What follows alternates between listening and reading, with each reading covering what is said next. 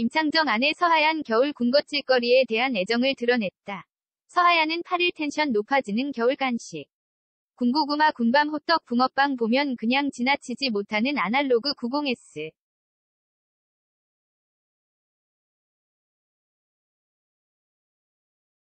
그 외에 계란빵, 풀빵, 국화빵.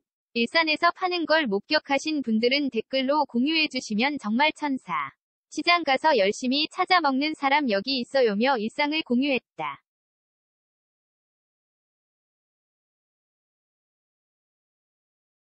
레깅스를 입고 운동을 한 서하야는 군고구마를 파는 곳을 지나치지 못하고 미소 짓고 있다.